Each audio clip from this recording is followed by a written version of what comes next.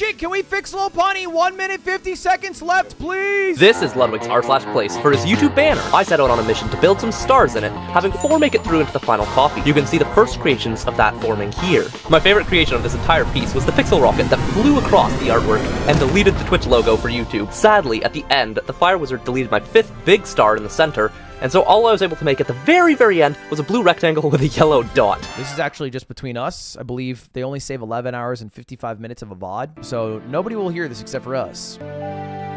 So many penises, man.